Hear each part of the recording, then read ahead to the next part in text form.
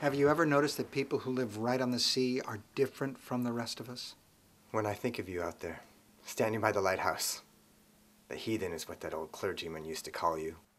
I'm afraid he gives her medicine, which won't really help her out. And he is standing by her bed, looking at her, and he will be wet, dripping wet, like he's just emerged from the sea. Stretched out across the rocks, there will be a mermaid who is almost dead. How do you know my name? Who are you looking for? Well, I suppose I'm looking for you. It will never be better with her.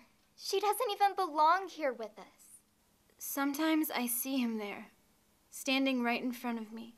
He never looks at me, but he's there, just watching me. Come, Ellida. The final bell has rung. It's time for us to go.